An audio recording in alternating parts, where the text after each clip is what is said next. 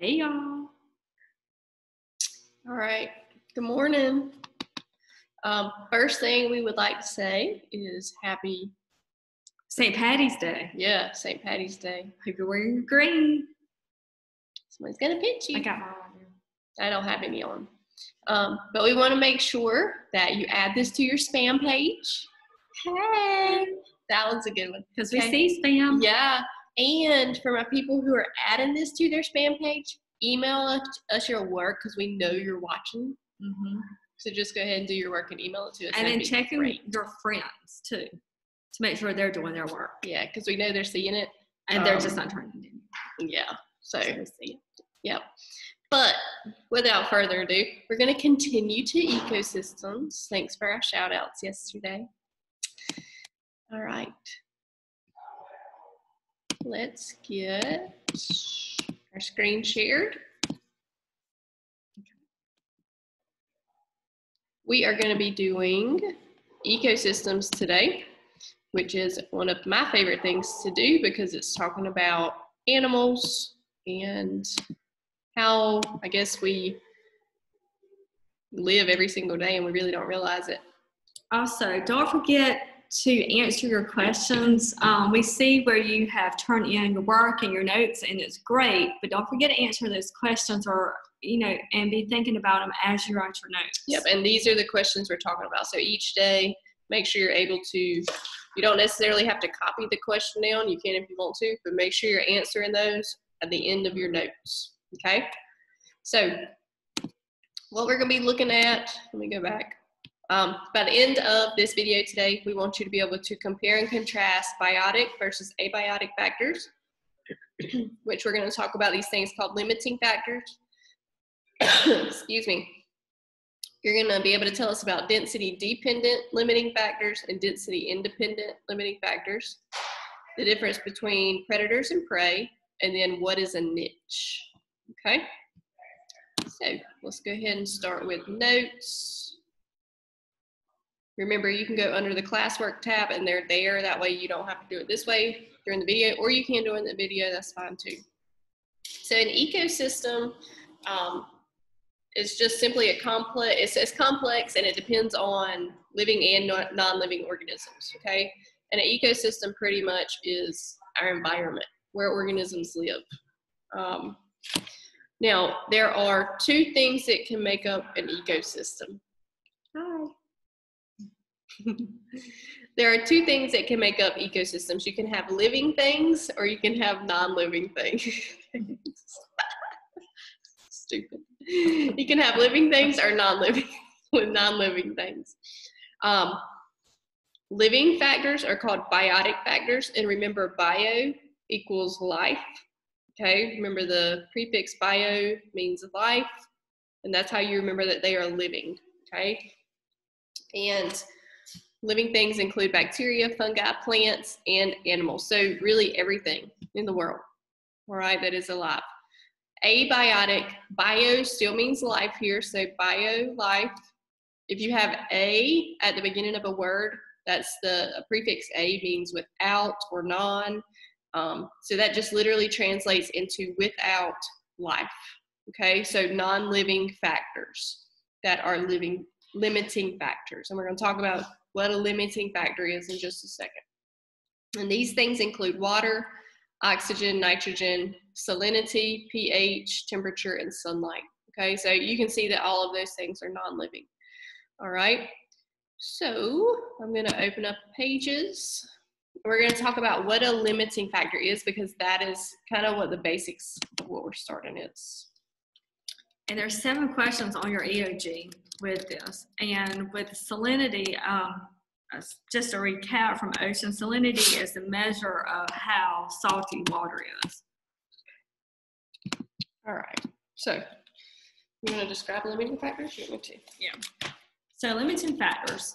Okay, so limiting factors are factors. What does the word limiting mean? It means just like if you're driving down the road, you have a speed limit. It's how fast or how um, something can carry something.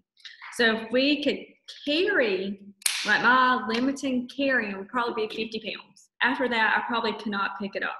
Okay, so that's how an ecosystem is. It has a limiting factor. It's uh, a factor that can cause an eco- uh, ecosystem to thrive or to decline. Okay, so your limiting factor is um, how organisms in an ecosystem interact.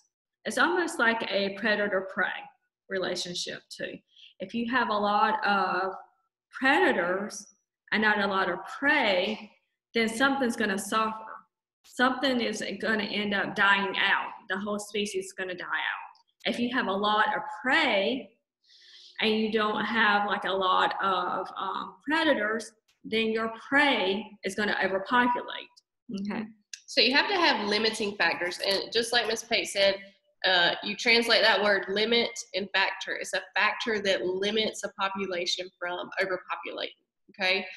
Um, we use this word. It's here. almost like supply and demand. Like Yeah. right now with toilet paper. Yes. Toilet paper is our limiting factor.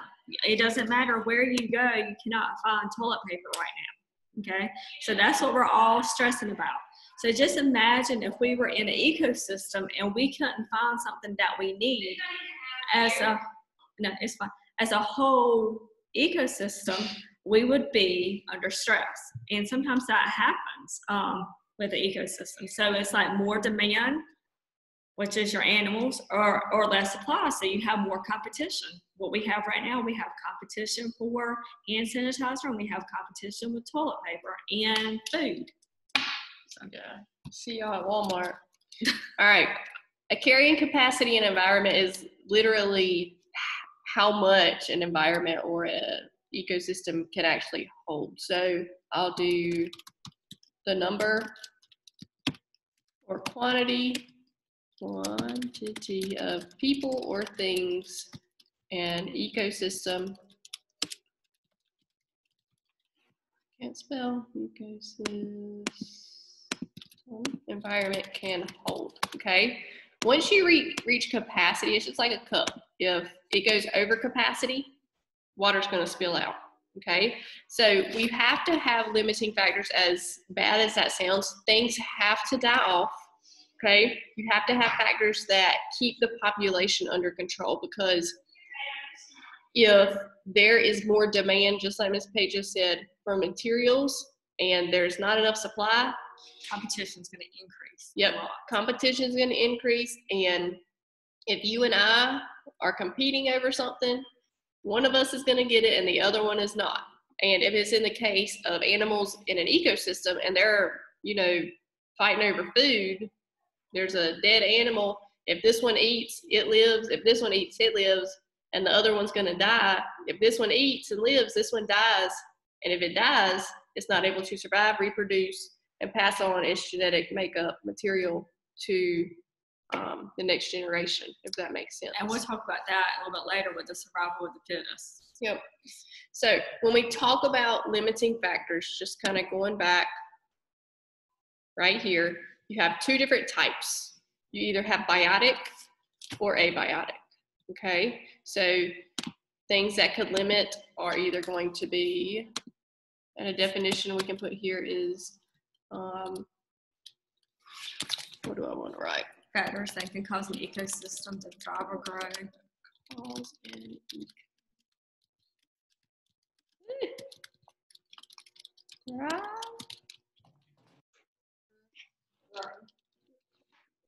Okay. All right. So two different types. You would just break it up, kind of do the little chart like we would do in class. You either would have biotic or you would have abiotic. Okay, so they would either be living or they would be non-living. Like it's a girl for this phone. Add her to your Hey! Please watch my video from today. It is awesome, and there's an extra credit question in there. Shh, don't tell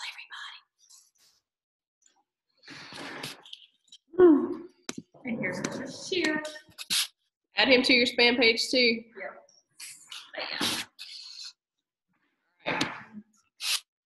We're gonna go eat. Uh-huh. Okay, we'll be there in a little while. Thanks. All right, so if a biotic factor is going to control or it's going to be a limiting factor, that means let's think if we have um, a wolf and a squirrel. Because I don't know if I've told y'all, but remember in Yellowstone, I saw this coyote eat this ground squirrel right in front of me, and I've got a really cool picture of it. Um, but would the limiting factor here be abiotic or biotic? And remember, it's something that's limiting the population from growing, right? So if I have, you know, oops, five wolves and 300 ground squirrels, is the wolf population going to be okay if that's what they're eating? And the answer is yes. But what is the limiting factor? It's going to be a biotic factor because the wolves are eating it. All right, wolves are a living animal, and it's going to they're going to keep the squirrel population from overpopulating. Okay, same thing. Um, think about. I know this sounds bad, but think about possums. What mischief do possums get in a lot of the times? They run across the road and get hit by cars, right? And as crazy as it sounds, not that I want to hit anything, but that's a biotic limiting factor, right? Um, because if I'm driving a car, I just killed the possum. I'm a human. I'm a living organism that just killed another living organism. Um, but it's also serving its purpose because what does that possum do when it's decomposing? It provides food for tons of other organisms on the food chain, which we will get into um, tomorrow. Okay. Abiotic factors. What could that look like? Um, think about if it gets extremely hot outside or extremely cold outside. Let's say that we have um, a population of animals living in Alaska, right? Who's going to survive if it gets un, like just crazily hot in Alaska for some reason? It's going to be animals with more fur or less fur. Probably less because the temperature is hot, but vice versa, if you're living in a really cold environment and it gets extremely cold is my dog going to be able to be able to survive there or is an organism that's built to survive in that kind of environment going to be able to live there? Um, also think about hurricanes. How do hurricanes how could they act as limiting factors? When they come through there's a lot of water. That means that organisms are dying because of drowning. Um, and that is not a living thing. A hurricane is non-living so that would be another abiotic factor. So lots of different things that could happen but the the thing is limiting factors have to happen in order for our population not to overpopulate our ecosystem not to overpopulate okay? Okay so we're going to talk about density dependent factors and density independent factors. I'm going to start with density independent factors first because these are going to happen regardless of how large your population is. And most of your density independent factors are abiotic so that means like uh, weather. Weather is always going to happen regardless of how big your population is. Um, bacteria, natural disasters, like what we're going through now, is always going to happen. Um, that if, that we can't change, but it will um, change how large your population is. So some examples are weather, humans, population, natural disasters, fires. And whenever you have density independent, it means loss of organisms and loss of life. Mm-hmm. Mm-hmm. Um, so independent is kind of like independent of like you just can't control it. It will happen. And it's then like we natural. Yep. Nature. Yep. And then dependent. If you depend on something, you know, it's it's one of those things that's density independent factors. It's going to operate in larger populations and it's going to be competition between food, water, shelter, space, as well as predation, so predator versus prey, um, parasitism, so think yesterday our ticks, um, tapeworms, anything that can cause disease and kill, and then down here, diseased. And so this happens by crowding. So if limiting factors aren't present, there's going to be tons of competition. And why? There will be a ton of competition simply because there's not enough resources. And think about you. If you, your family need food, water, and shelter, and her family also needs food, water, and shelter, and there's one house, what are you going to do? You're going to want to be, yeah, you're going to compete. You're going to want to be that family who is in that survival of the house. Yes, survival of the fittest. And if I'm an organism out in the wild, it probably ends in a predator, Prey. yeah, prey situation where the, the most fit organism will survive, pass on their off, off uh, yeah, genetics to their offspring, and then the other organism would die out because it wasn't as fit. Right. Okay. Density dependent factors. Um, those are those are simply things that depend on things that we need. Okay. so for example, if two wolves are hunting for their pack and there's only one animal to hunt, so if I have this wolf and this wolf coming from a separate pack, and then they are both going for one organism that's in the middle of them, what are they going to do? Both wolves are going to probably attack each other first. One of them's going to end up dying, getting killed, the, the least fit one, and the other one will survive, take the prey, and be able to feed their family. Okay, so that is density dependent. All right, and this just kind of goes right along with it. Just the rest of your notes. Um, population numbers of each organism, they're going to fluctuate at a predictable rate. Okay, we know that these things are going to happen. It's predictable. We can't necessarily be underpopulated, and we also can't be overpopulated. Okay, it's it's kind of that um, equilibrium where you balance each other out to that to that right number. Okay, now supplies in an ecosystem are also going to fluctuate at a predictable rate, dependent on how many animals are present, how many predators, and how many prey. Okay, so if there are more demand, if there's more demand, think about it right now in the grocery stores. There's more demand for stuff. Like I went in the grocery store last night, there are way less supplies and there's a ton more competition, right? Me and this little lady in Walmart need the same thing and there's one of them left, who can get there the fastest? I'd probably just let her have it though. But more demand. There's less supplies everywhere, but there's way more competition because you want your family to have what they need. All right. And that means that there's more animals. Right now, more people are out and about trying to get prepared for being quarantined. If there's less demand, think about a normal day. Less demand, there's more supplies. Okay. And there's way less competition. Three weeks ago, I could walk in Walmart and buy toilet paper without Even thinking about it. yeah. You know, thinking about somebody attacking me from behind. Now I had to go to five different stores to Yeah. get toilet paper, and they have it at Lowe's, out of all places. It's crazy. Okay. So that is the same thing that happens in an ecosystem outside, animals all day, every day that we don't know is even going on. But more demand, less supplies, more competition, less demand, there's way more supplies, and way less competition.